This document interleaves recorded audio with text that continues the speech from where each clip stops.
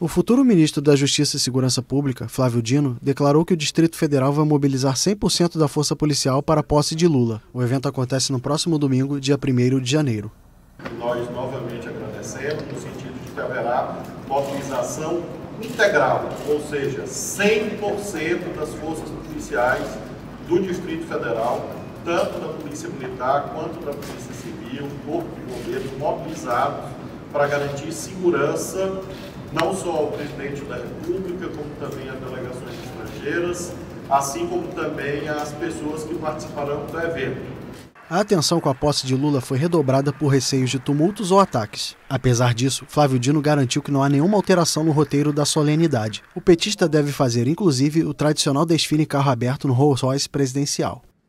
Não serão pequenos grupos terroristas, não serão pequenos grupos extremistas que vão emparedar as instituições da democracia brasileira. Não há espaço para isso no Brasil. No sábado, o empresário Jorge Washington de Oliveira Souza foi preso depois de plantar um explosivo em um caminhão de combustíveis que estava próximo ao aeroporto de Brasília. Embora tenha havido uma tentativa de detoná-lo, o artefato não explodiu. Jorge, que se declarou apoiador de Jair Bolsonaro, disse que tinha o objetivo de iniciar o caos e de impedir o estabelecimento do comunismo no Brasil.